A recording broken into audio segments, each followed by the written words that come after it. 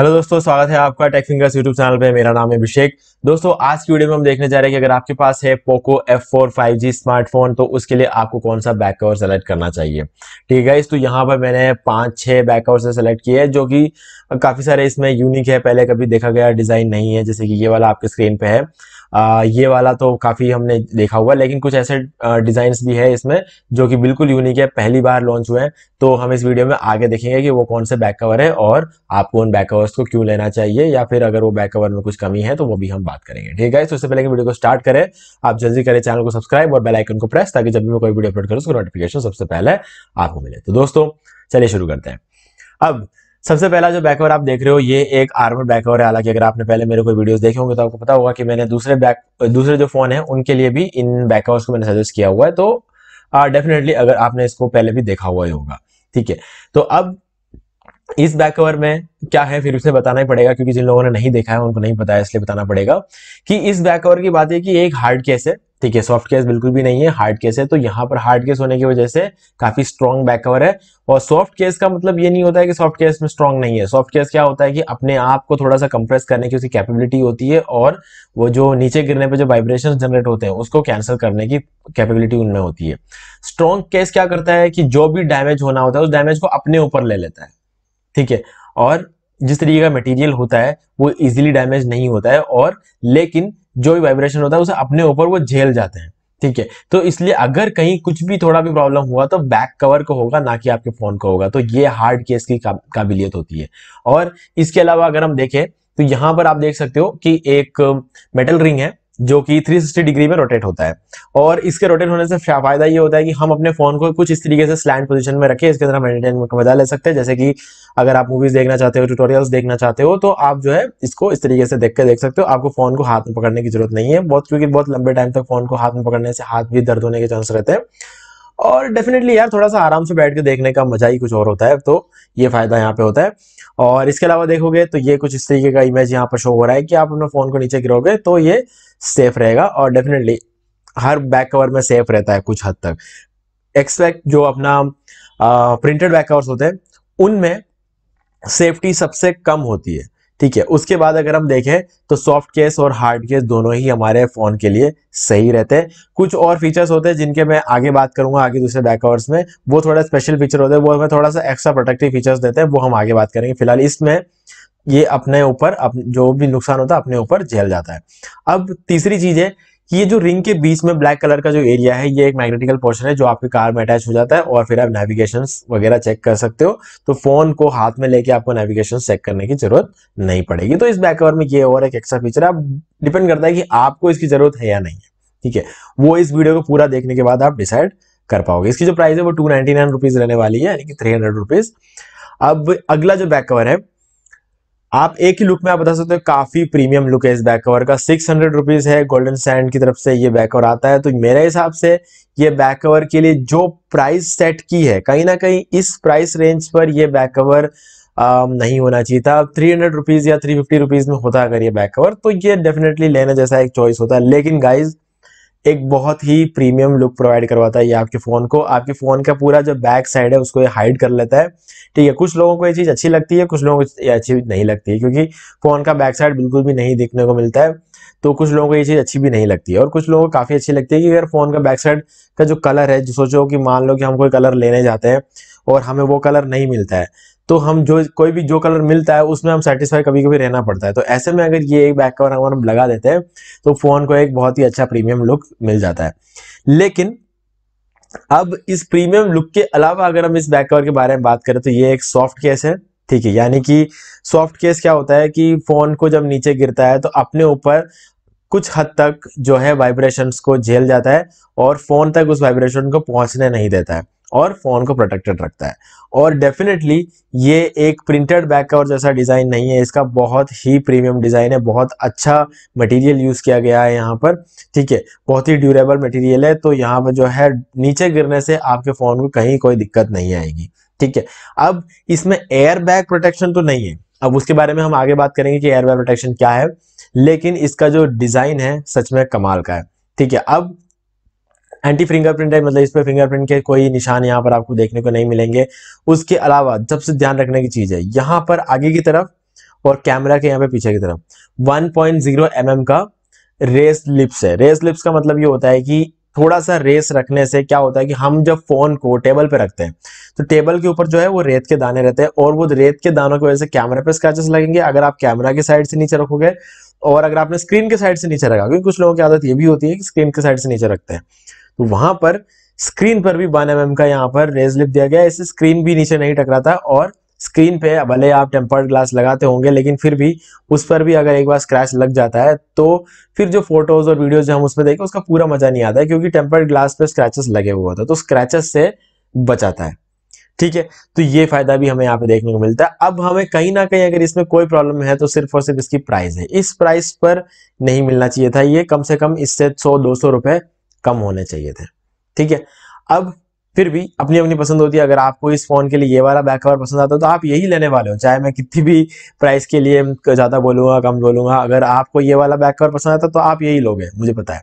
ठीक है? तो उस हिसाब से ही लोग सोच के प्राइस भी रखते हैं।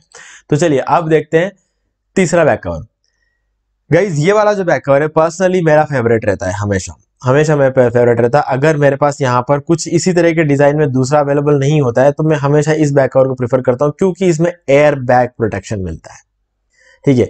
टू फिफ्टी नाइन रुपीज़ के प्राइस में हमें यहाँ पर एयर बैग प्रोटेक्शन यहाँ पर देखने को मिलता है। क्या है एयर बैग इसके चारों कॉर्नर में जो आपको थिकनेस देखने को मिल रही है। ये एक्चुअल में एक एयर बैग है, अंदर होलो एरिया है। अब होलो एरिया करता क्या है कि जब भी आपका फ़ोन नीचे गिरता है, ये पोर्शन जो है वो अंदर की तरफ़ दब जाता है। और एयर बैग जिस तरीके से हमारे फेस को प्रोटेक्ट करता है, वैसे ही ये फ़ोन को प्रोटेक्ट करता है। ठीक है, और ये तो सबको पता ही हो कि फ़ोन जब भी नीचे गिरता है, हमेशा सबसे पहले उसका कोई ना कोई एज नीचे टकराता है।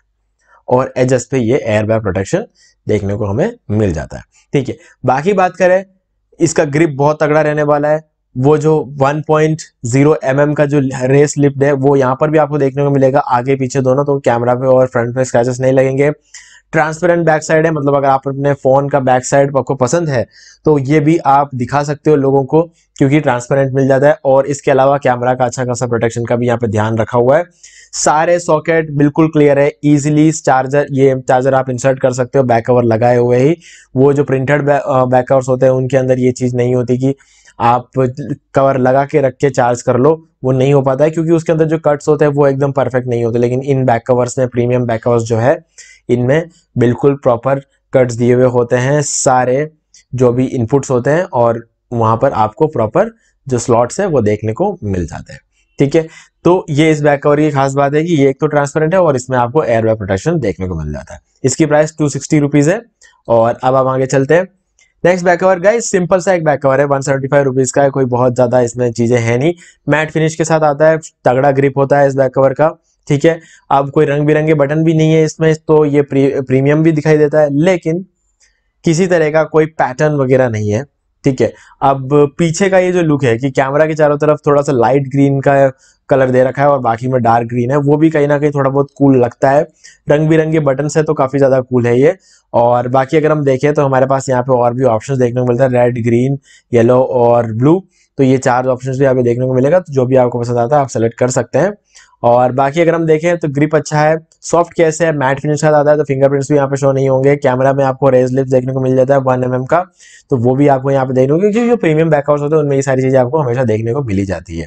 ठीक है तो ये सब अच्छी बातें होती है, क्योंकि यहाँ पर ये सब चीज़ें होना बहुत ज़रूरी है, और यहाँ पर आपको पहली बार एक नई चीज़ देखने को मिलेगी, वो है full question tactile volume buttons. Volume buttons जो है, आपको यहाँ पर टैक्टाइल देखने को मिलेंगे। ये छोटे छोटे जो डॉट्स आपको यहाँ पे देखने को मिल रहे हैं। ठीक है? ये यहाँ पर आप देखते हैं प्लस और माइनस ठीक है? ये जो है कुशन बटन है तो आपको डिफरेंस पता चले। यहाँ पर कोई स्लॉट नहीं दिया गया है। नॉर्मली क्या होता है, जहाँ पर वॉल्यूम रॉकर होता है, वहाँ पे कोई स्लॉट दिया हुआ था, लेकिन यहाँ पर स्लॉट नहीं दिया गया। यहाँ पर उन बटन को थोड़ा कुशन बना दिया गया, ताकि आपको पता चल जाए कि कहाँ वॉल्यूम प्लस और माइनस कहाँ होता है, जो वॉल्यूम रॉकर्स है, वो कहाँ है, ये पता चलने के लिए आपको प्लस माइनस का यहाँ पे साइन दिया गया और थोड़ा क्वेश्चन बटन बना दिया उसको। तो फीचर्स तो काफ़ी अच्छे हैं इस बैक कवर के, लेकिन थोड़ा सा और डिज़ाइन में होता तो मज़ा आ जाता। तो ये भी एक अच्छा ऑप्शन हो सकता है। अब आते हैं नेक्स्ट में। फिर से एक प्रीमियम लुक वाला यहाँ पर आया है, ये देखिए, जैसे ये प्रीमियम लुक देता है, वैसे ये भी आपको प्रीमियम लुक देता है। यहाँ पर लेदर टेक्सचर के साथ आया है और बहुत ही प्यारा बैक कवर है। बाकी सारी कहानी एज इट इज़ सेम है, जो कि हमने इस बैक कवर में बात की थी। सब कुछ बिल्कुल वैसा का वैसा है। प्रीमियम लुक है ये भी छह सौ रुपए का है, वो भी छह सौ रुपए का था, वो भी गोल्डन सैंड का था, ये भी गोल्डन सैंड का है, ठीक है? तो अब आप इनमें से सेलेक्ट कर सकते हो कि आपको कौन सा टेक्सचर ज़्यादा पसंद है ये वाला टेक्सचर ज़्यादा पसंद है कि आपको ये लेदर टेक्सचर ज़्यादा पसंद है, ठीक है? दोनों ही कमाल के बैक कवर्स है, लेकिन प्राइस रेंज इन दोनों का मुझे लगता है थोड़ा सा कम होना चाहिए था। अगर होता तो मज़ा आ जाता, ठीक है? बाकी अपनी अपनी पसंद की बात है। अब आता है रिग गियर की तरफ़ से अगला बैक कवर रिग गियर बहुत अच्छी कंपनी है। अगर हम बात करें बैक कवर्स बनाने में रिगियर का बहुत बड़ा नाम है। सिक्स हंड्रेड रुपीज़ में बैक कवर बनाया है और मुझे ये बैक कवर पर्सनली बहुत अच्छा लगा है। ठीक है, इसका कंप्लीट लेदर टेक्सचर है पूरा। बैक साइड पूरा लेदर टेक्सचर दिया हुआ है कैमरा की तरफ़ सब कुछ लेदर टेक्सचर दिया हुआ है। रेस स्लिप आपको यहाँ पे देखने को मिलेगा ताकि आपको कैमरा और फ्रंट साइड में जो है स्क्रैचेस नहीं आए।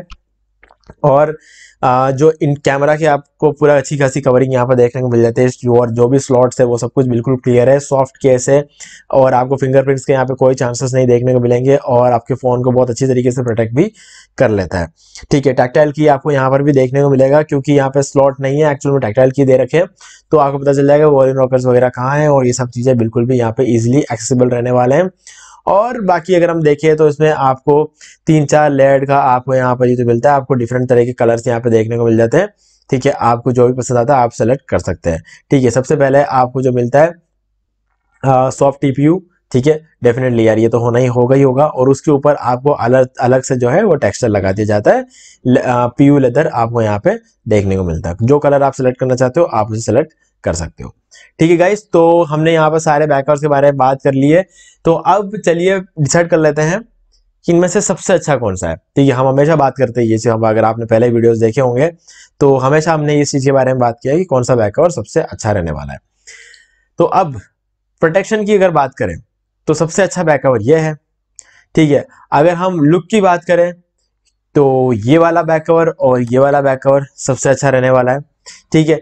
और अगर हम बात करें फीचर्स के मामले में तो ये आर्मर वाला। ठीक है, ये तो ऑलराउंडर है ही है। सारी चीज़ें हार्ड केस है। हार्ड केस जिनको चाहिए होता है, उनके लिए सही है।